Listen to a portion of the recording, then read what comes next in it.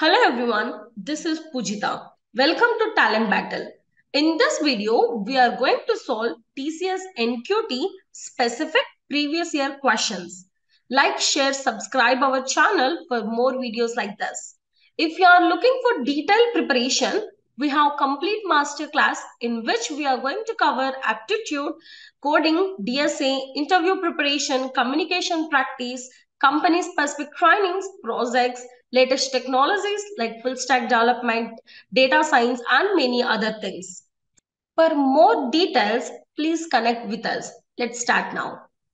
The arithmetic mean, geometric mean of two numbers is 75 and 60 respectively. Uh, the ratio of harmonic mean to geometric mean of these numbers is.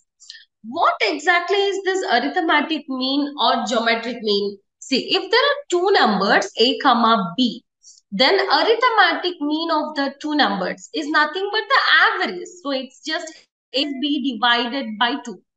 And geometric mean of the two numbers will be root of AB. And harmonic mean of those two numbers will be 2AB divided by A plus B. These are the general formulas, how you will calculate arithmetic or geometric or harmonic mean. Now they gave you arithmetic or geometric mean but they are asking you the ratio of harmonic and geometric mean. So what exactly is arithmetic mean as we seen a plus b divided by 2. If I imagine the numbers as a and b, a plus b divided by 2 should be equal to 75. So what we'll get a plus b is equal to 150.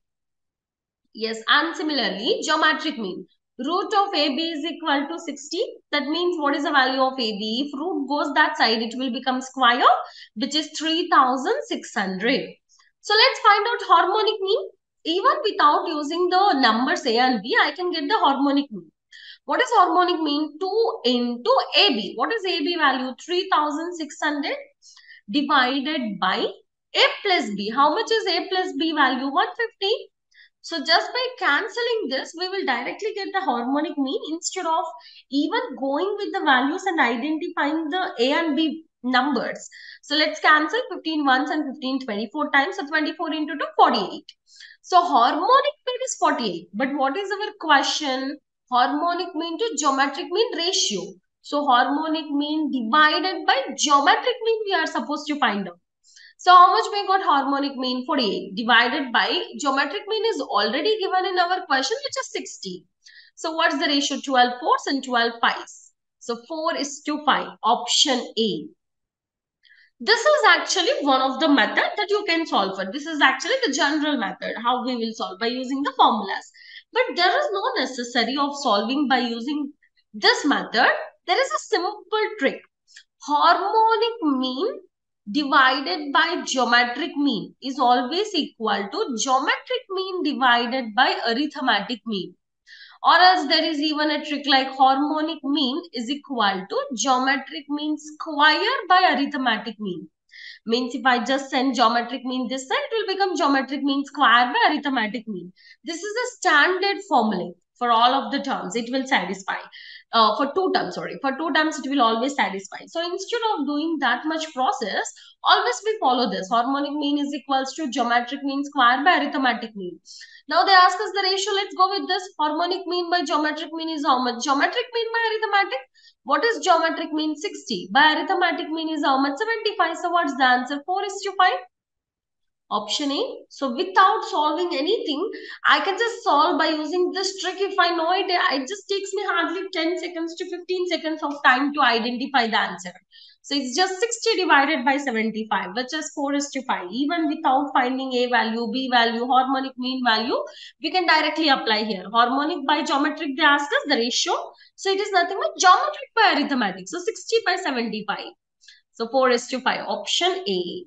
Okay, so there are some of the tricks like this which you can learn. So if you are interested to learn more the tricks like this, you can join our master batch too. So option A is the correct answer. So six persons A, comma, B, comma, C, comma, D, comma, E, comma, F are sitting in a row facing north. So there are six people. First, what we will do, we will imagine six positions before we start. Uh, B is adjacent to E and D and D. So B is adjacent to D and D means B should be uh, adjacent. So after B, D and D should be there like this. Even E can be here or D can be here or B should be middle of them. Adjacent is nothing but the neighbor. C is sitting immediate right of F who is not at any of the end. So F is not at any of the end and C is sitting immediate right of F. So if you take F this side, right side of F, C should be there like this. Means F can be here, C can be here, F can be here, C can be here, F can be here, C can be here. But F should not come at the corner. Okay, so let's keep it, uh, we'll, we'll uh, place them. As of now, we'll just keep it aside. We'll see for one more statement what they has given. Uh, there is only two persons to the right of D. So right of D, but suppose if I take D here, then only right side of D. This is the right side. So then only right side of D, there will be only two people. See, just two people. Two people satisfied. Right side of D, there are just two people. If you imagine D here, there will be three people on the right side. If you imagine D here, there will be four people on the right side. So D should be in this position. Then only you will have two people on the right side. That means D is here. Okay. So if E is at one of the end, so E is at one of the end. So as we know, D, B and E should be like this. Yes, D, B and E. Or it can be even E, B and D. As they clearly gave, E should be at one of the ends. So if E can be here, yeah. Uh, E should be at one of the ends means let's imagine that E will be here. Just the only possibility because if E is here, then B cannot come adjacent. If B comes here, he is not adjacent to D and E. So this is not possible. So E will be there and B will be here. F and C are together like this. F is not at the corner. So F and C like this and A will be in the starting, the leftover person. So who is at the end of, who is at another end? That our question is who is at another end. So who is at another end? A is at another end. A is the person E who is at one of the ends. If E is at one of the ends, they clearly said if E is at one of the ends, then who is at the other end? So who is at the other end? A is at the other end. A is at the other end. So what is the answer? Option B. A is at another end. So they clearly gave us six people. So let's just imagine six positions. Just imagine. So after D's right side, only two people should be there. So D can be definitely here. Then only two people will come. E is one of the corner and we clearly know B is adjacent to D and D. So the three should become like a group. D, B and D like this. And then F is not at the corner. F right side C is there. So only A is here. So if E is at one of the end, who is at the other end? A is there. Option B is the correct answer. I hope you understood the questions that we discussed in this video. For more videos like this, please subscribe our channel. Thank you.